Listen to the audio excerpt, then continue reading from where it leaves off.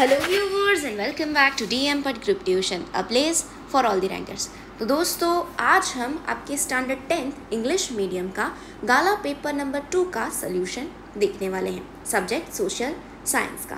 तो चलिए ये शुरू करते हैं। यहाँ पर सबसे पहले हमें मैच द पेयर्स करेक्टली दिया गया है सेक्शन ए और सेक्शन बी ऐसे दो अलग सेक्शन रिस्पेक्टिवली हमें दिए गए हैं। तो चलिए उनके जो आंसर्स हैं, वो सबसे पहले डिस्कस कर लेते हैं। सबसे पहले हमें यहाँ पर रणोत्सव दिया गया है। तो उसका आंसर आ जाएगा ऑप्शन डी, कच्छ। तो फ़र्स्ट का ऑप्शन आ जाएगा डी। उसके बाद सेकंड नंबर में हमें अकीक वर्क दिया गया है।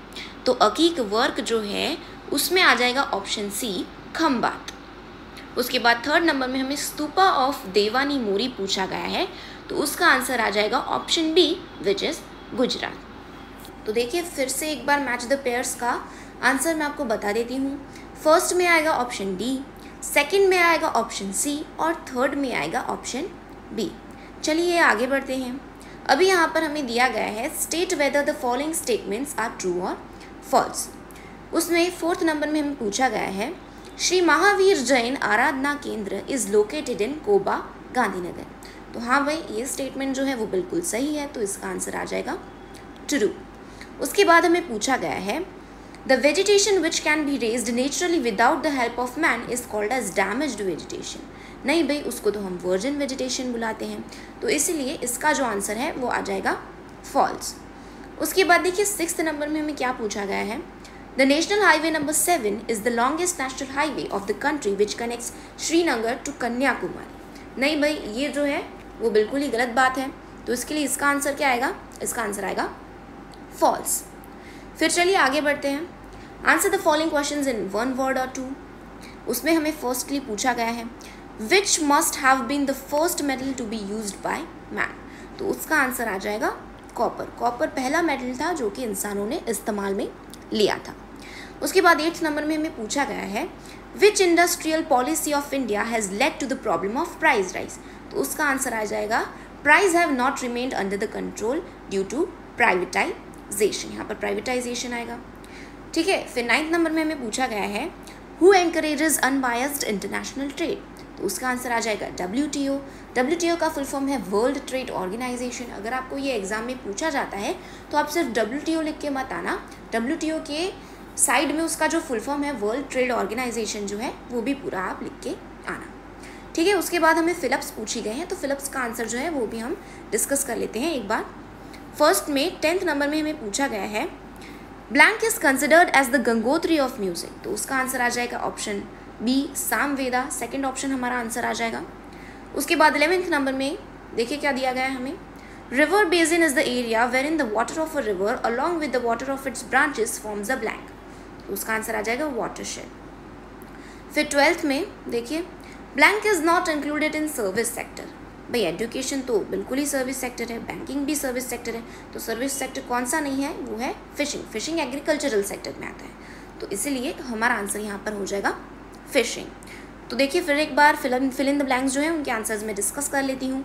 टेंथ में आएगा option number two which is Samaveda फिर उसके बाद इलेवेंथ में आएगा वाटर शेड जो कि है हमारा ऑप्शन नंबर थ्री और ट्वेल्थ में आएगा फिशिंग जो कि फिर से हमारा है ऑप्शन नंबर थ्री फिर चलिए आगे बढ़ते हैं. यहाँ पर हमें दिए गए हैं M C Qs multiple choice question तो उनके भी आंसर्स जो हैं वो हम डिस्कस कर लेते हैं।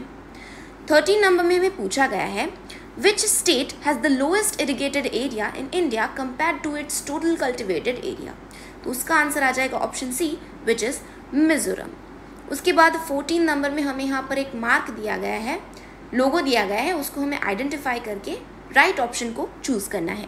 फोर्टीन नंबर में देखिए क्या पूछा गया है।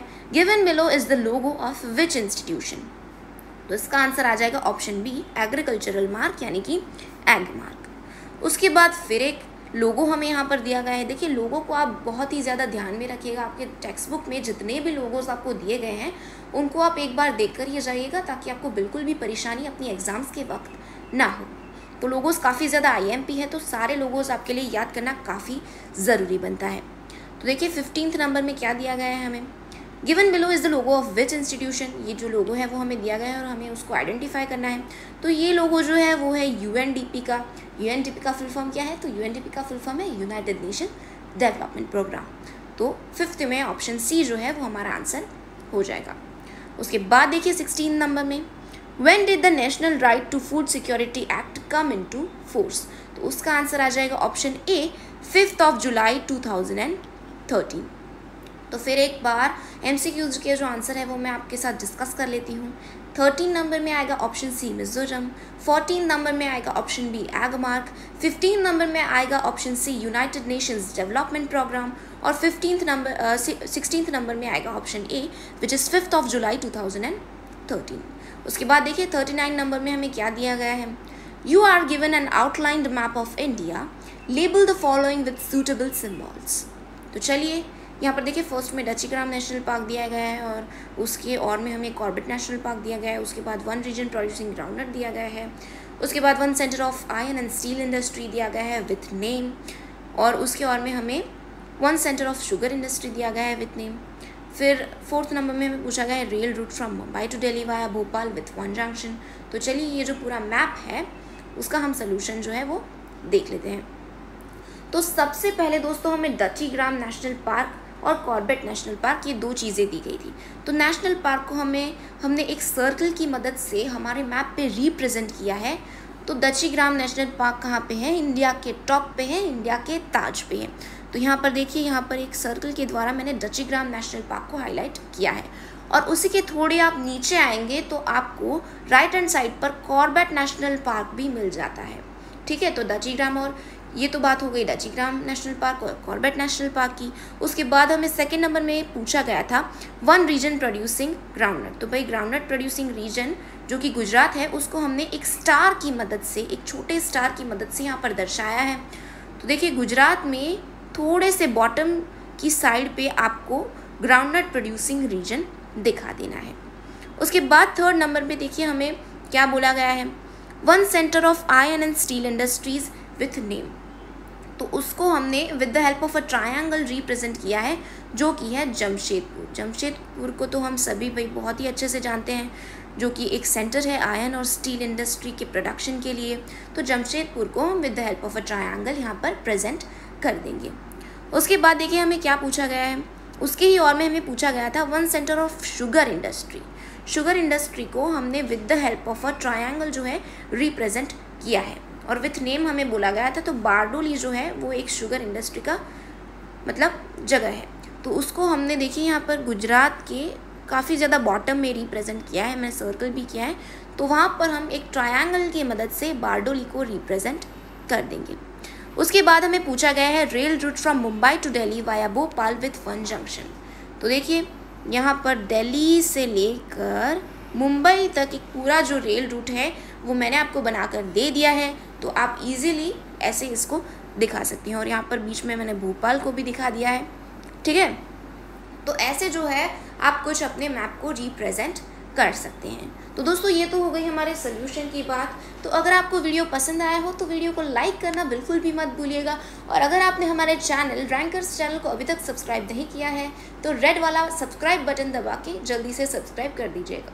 और हाँ बेल आइकन को प्रेस करना ना भूलिएगा ताकि हमारे सारे वीडियोस की नोटिफिकेशन आपको जल्द से जल्द मिलती रहे। तो that's it for today thank you bye